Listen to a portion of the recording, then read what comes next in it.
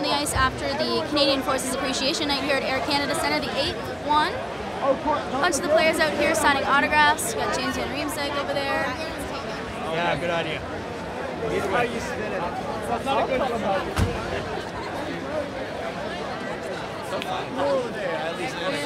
And then, of course, Joffrey Lupul and Luke Troops.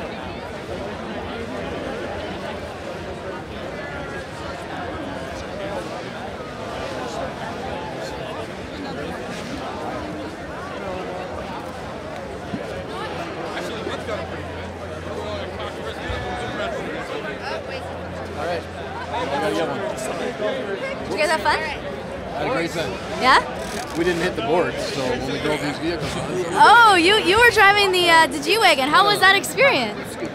Good? Good time. And you're a big Leaf fan? big leap. Who'd you get? Uh, you got all the guys autograph your jersey? All the guys. Well, Who are you most impressed to see today? Like, who are you like just so excited for? best? Kessel was the best. Kessel? was awesome. Yeah? And his hat trick? How come you didn't throw your hat? I only got one. oh, okay. Problem. Awesome. It's all good.